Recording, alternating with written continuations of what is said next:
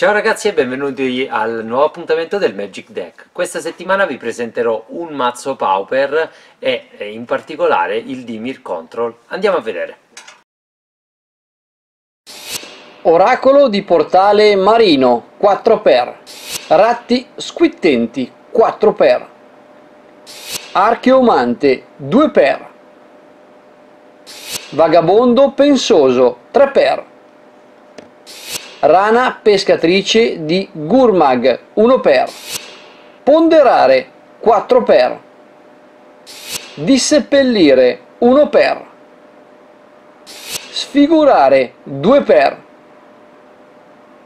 Editto diabolico 2x Editto di Shiner 2x Contromagia 4x Lama del fato 3x Decomposizione riecheggiante 2x Alchimia proibita 1x Fremito spettrale 2x Mietere le tombe 1x Cancello della Gilda di Mir 1x Fontana radiosa 2x Secca solitaria 1x Acquitrino tetro 4x Acquedotto di Mir 2x Brughiera brulla 1x Isola base 7x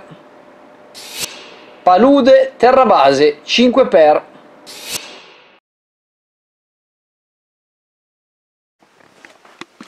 Allora, iniziamo dal nostro parco creature. Abbiamo il 4x di Oracolo di Portale Marino, creatura blu a costo 2 incolori, uno blu e un 1-3 e quando entra nel campo di battaglia guardiamo le prime due carte del nostro grimorio, ne aggiungiamo una eh, alla, alla mano e una andrà in fondo. Poi abbiamo 4x a costo 3 del, dei ratti squittenti, costo 1 incolore e 2 neri e un 2-2 che quando entra in gioco l'avversario dovrà prendere una carta dalla sua mano e metterla in cima al grimorio. Poi abbiamo il 2x del, dell'archeomante a costo 4, 2 incolori e 2 blu, un 1-2 che quando entra in gioco ci fa riprendere in mano una carta istantanea stregoneria dal nostro cimitero. Poi 3 per del nostro Muldriffer a costo 4 incolori e 1 blu e un 2-2 volante che quando entra in gioco ci permette di pescare due carte, oppure possiamo pagare il suo costo di evoke, 2 incolori e 1 blu, per farlo morire subito dopo ma farci pescare sempre due carte. Poi uno per del Gurmarg Angler, il nostro rospone a costo 7, 6 incolori e 1 nero, con Delve, eh, se vi ricordate l'abilità eh, vi permette di scontare di uno incolore per ogni carta che eh, rimuovete dal gioco dal, nel vostro cimitero al suo cast ed è un 5-5 quindi abbastanza robusta per il meta pauper poi iniziamo dalle magie non creatura. Il 4 per di ponderare a costo 1 blu, una stregoneria che ci fa guardare le prime tre carte del nostro grimorio. Possiamo rimetterle in ordine in qualsiasi modo che vogliamo, eh, oppure rimescolarlo e pescare una carta. Poi, uno per di disseppellire a costo 1 nero, stregoneria, scegli una creatura bersaglio dal nostro cimitero con costo 3 o meno e la mettiamo direttamente in gioco e la possiamo ciclare a 2 incolori. Molto forte questa carta. Eh, due per di disfigure a costo 1 nero instant, la creatura bersaglio prende meno 2, meno 2 fino alla fine del turno.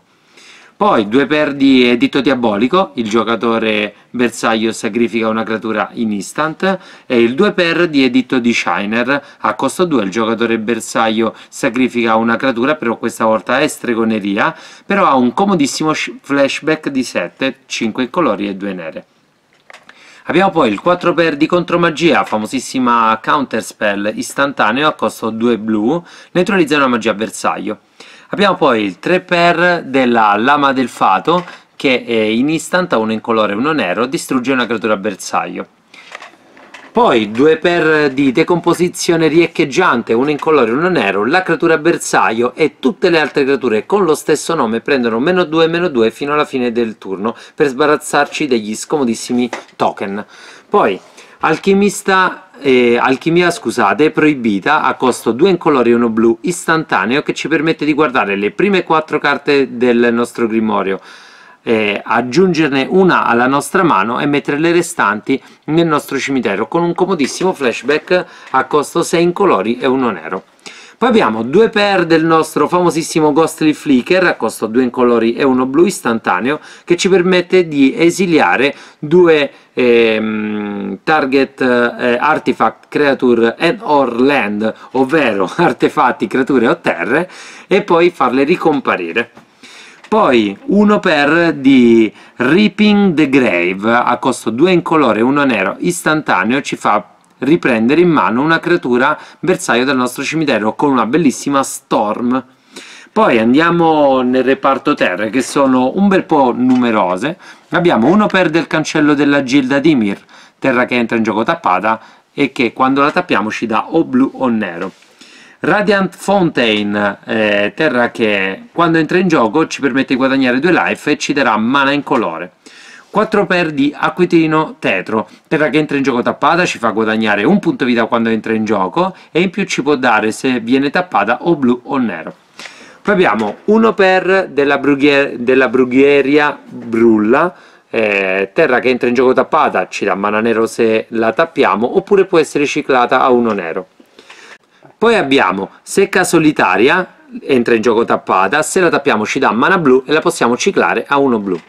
2 per delle nostre comode Bounce Land, quindi Acquedotto Dimir entra in gioco tappato, quando entra in gioco ci dobbiamo riprendere in mano una terra, possiamo riprenderci anche la Radiant, guarda un po' per guadagnare un po' di punti vita, se la tappiamo ci darà sia blu che nero. Poi terre base. Abbiamo 2, 4, 6 isole e 5 paludi.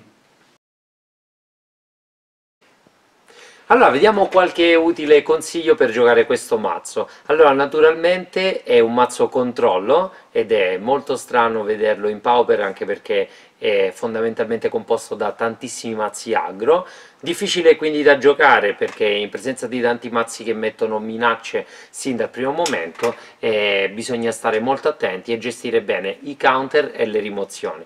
Un mazzo che presenta tantissime rimozioni, tantissime magie e poche creature, creature che però naturalmente quando entrano nel campo di gioco fanno qualcosa. Quindi abbiamo ratti squittenti che ci permettono di far saltare la pescata all'avversario, abbiamo l'oracolo di portale marino che ci permette di cercare la soluzione e allo stesso tempo bloccare le race, comunque un solido 1-3. Poi abbiamo il Muldrifter che tra le altre cose può essere eh, giocato in risposta di... Eh, di Evoke, quindi lo potete giocare a 3 con Evoke, eh, mandare in pila l'effetto di doverlo sacrificare e poi farlo sparire col Ghostly Freaker, potrete avere di base un 2-2 volante, eh, averlo pagato 6 pescando 2 e magari accompagnato con un ratti squittenti che gli fanno rimettere eh, in cima al mazzo una carta dalla mano all'avversario oppure all'archeomante che ci permette di riprendere anche qui Ghostly Freaker dal cimitero per poter fare un continuo Ghostly Freaker e bloccare il nostro avversario oppure con Oracolo di Portale Marino guardare le carte per la soluzione che ci serve. Poi abbiamo naturalmente un disseppellire che è utile per eh, andare a rimettere i ratti squittenti in gioco oppure l'oracolo. Ricordatevi che abbiamo anche un'alchimia proibita che ci permette di andare a cercare più velocemente queste carte. Se c'è una counter war o comunque tantissime rimezioni che fate durante il turno del vostro avversario, ricordatevi che potete fare anche un Reaping the Grave una volta che sono state giocate 3-4 magie durante il turno dell'avversario è un instant, lo giocate e quindi verrà copiata per tutte le magie che sono state giocate durante quel turno. E non è male perché a partita inoltrata naturalmente eh, vi permette di ripartire con le carte che avete messo nel cimitero. State molto attenti quando giocate la vostra rana, perché? Perché non dovrete naturalmente delvare delle risorse che vi servono nella partita. Quindi un mazzo molto difficile da giocare, state attenti e ricordatevi di guadagnare i vostri punti vita grazie alle Bounce Land, le terre che entrano in gioco tappate e la Radiant in maniera che i primi danni che vi fanno Barn o Stompy o Kuldota eh, vi permettano di eh, recuperare e quindi andare nella, nella partita avanzata e quindi portare a casa la partita. Bene, per uh, questo appuntamento è tutto e ci vediamo alla prossima. Se avete dei commenti, volete modificare qualche cosa nella lista o avete delle richieste di mazzi particolari, scrivetele nei commenti, vi rispondiamo il prima possibile. Ciao ragazzi! Goodbye!